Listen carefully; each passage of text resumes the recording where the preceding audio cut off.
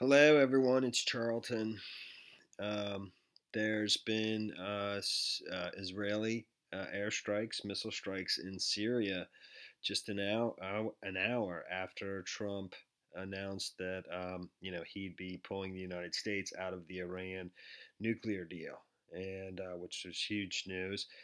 I just you know just found out about it. I heard it on Fox. Shannon Bream it's really not even in sort of the mainstream Google news feed yet. But um, you know that this is some time ago. It's already like 6:30, something like that in the morning, seven o'clock in the morning in Syria. It's almost daylight hours now.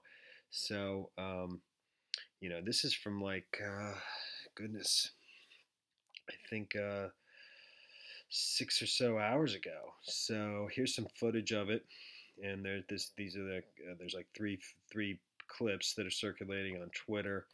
Here's the first one. And it was it was in an area south of Damascus, a town called uh, Al Kiswah. Reportedly, there's a uh, military base there. It's suspected that it's uh, Iranian-backed forces in that. That's been growing in size over time. So that's what was targeted in the uh, the missile strike. I'm not certain if it was manned aircraft that do, do this, or if it's just missiles launched from, directly from Israel. That's not really said in the reports, but here's uh, some of the footage.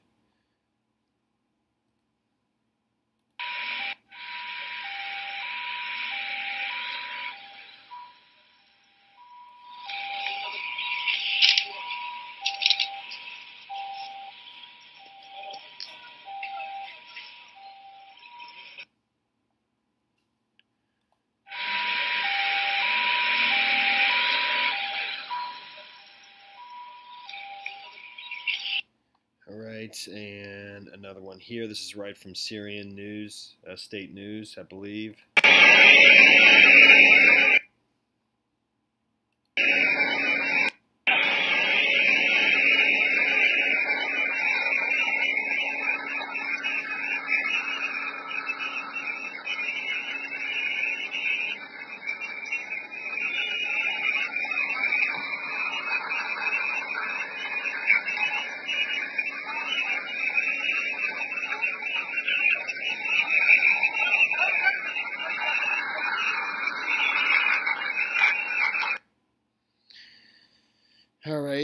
And one more. This is the most recent one.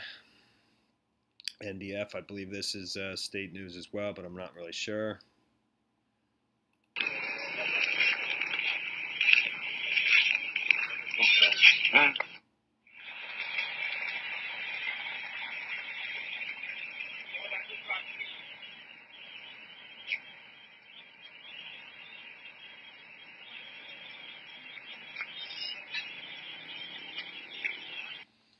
So, according to reports, uh, Syrian air defenses were shot down two missiles.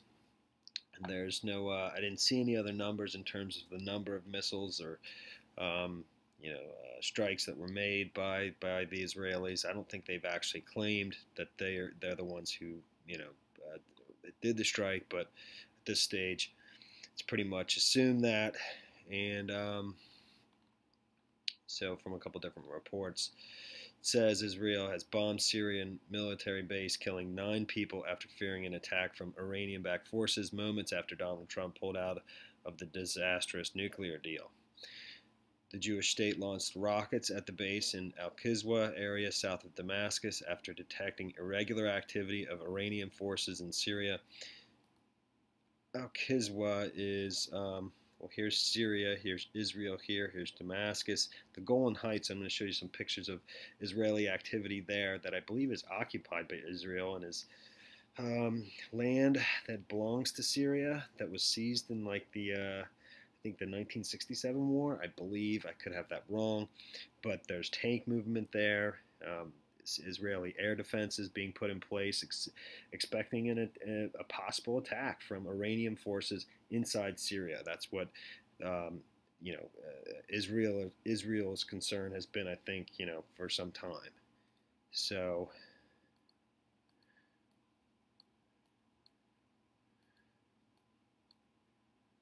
And there's Al Kiswah, there's Damascus. This is the Golan Heights in this area, I believe. Um, and I'll show you some pictures of that in a second. But let me just finish reading what was in the uh, the Sun, and there's some stuff from the BBC. The UK-based Syrian Observatory for Human Rights said the strikes targeted depots and rocket launchers that likely belong to Iran's elite Revolutionary Guard, killing nine people. They believe those nine very well may be from the Iran Iranian Revolutionary Guard. Syrian state news agency Sana had reported the sound of explosions near Kiswah and said Syrian air defenses fired at and destroyed two Israeli missiles. The Israeli army has opened civilian bomb shelters in Golan Heights in the north of the country, fearing an imminent strike. U.S. military officials told CNN that an attack could be launched from Iranian backed uh, forces in Syria or Lebanon or even from inside Iran. I found that pretty remarkable. And that's, I mean, this is in the Sun, but they're quoting the CNN that U.S. military force officials told CNN that an attack could be launched from Iranian backed forces in Syria or Lebanon or even from inside Iran. The Israeli army released a statement saying its troops are on high alert and defense systems have been deployed. The U.S. State Department has has today warned American citizens to consider carefully when traveling to Golan Heights until the situation stabilizes, reports CNN. It's pretty it's pretty it's pretty unreal, you know. It's it's it's definitely escalating and whether or not this will uh, um, dial back down, um, I don't know, you know, but it's definitely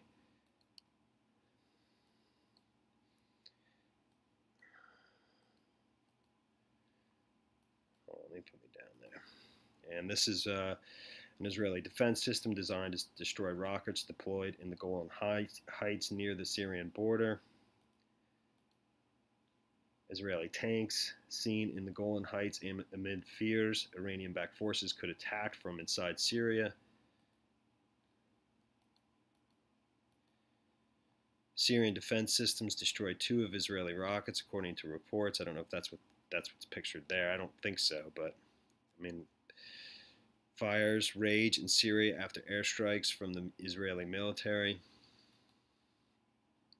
Explosions filmed in Kiswah area of Damascus, reportedly caused by Israeli missile strikes. And um, over at Business Insider, I think this is going to be uh, a lot of the same that I just just just read and reported. Nine pro Syrian fighters were reportedly killed in an Israeli airstrike near the Syrian capital of Damascus on Tuesday. Video of the alleged strikes were seen across social media. The incident comes shortly after President Donald Trump announced that uh, he would be withdrawing from the Iran nuclear deal and enact fresh sanctions against what he called the leading state sponsor of terror. On Tuesday night, the state owned media outlets in Syria reported that its air defenses intercepted two Israeli missiles. That's the same videos that I had shown you. Israel's military typically does not public, publicly discuss its airstrikes, but it recently took several steps indicating an escalating conflict with Iranian forces. On Tuesday, the Israeli army ordered the opening and preparation of missile shelters in the occupied Golan Heights but stopped short of instructing residents to occupy the shelters. It's pretty unreal.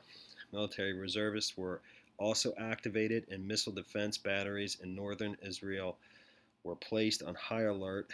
According to the Times of Israel, the IDF is ready and prepared for a variety of scenarios and warns that any actions against Israel will be answered with fierce retaliation, the Israeli army announced, according to the Times. The incident comes shortly after President Donald Trump announced that he would be withdrawing from the Iran nuclear deal. Over the years, Iran and its proxies have bombed American embassies and military installations, murdered hundreds of American service members, and kidnapped, imprisoned, and tortured American citizens, Trump said in a statement on Tuesday. Over at the BBC, it's similar. Early on Tuesday, there were reports of loud explosions at a military base in the area uh, the Sana news agency said Syrian air defenses had shot down two Israeli uh, missiles in the Kiswah area on Tuesday. It reported no casualties, but but a monitoring group said at least nine pro-government forces had been killed, including Iranian-backed fighters. Commander supporting President Bashar al-Assad told Reuters news agency the the airstrike had targeted a Syrian army position. Target was an arms depot. The dead included members of the Iranian Revolutionary Guard and other Shia militiamen. Israel has not commented on the reports, but it, but it has said it will stop what it considers Irani, Iran's military entrenchment in Syria. Iran has supported the Syrian government during the country's country's seven-year civil war, etc. And that's uh, that's that's what we know so far. It's definitely escalating, and um, I don't know. I don't know where we'll go from here. I'm surprised myself, you know, that it's so soon, right after Trump pulled out of the um, pull out, pulled out of the Iran nuclear deal. Pretty pretty unbelievable. All right. I'll follow, uh, you know, follow things, and uh, you know, as things develop, um, I'll make an updated video. Thanks for watching my videos. Please subscribe to my channel. Give me a like down below. I'll see you in the next video. Later, man.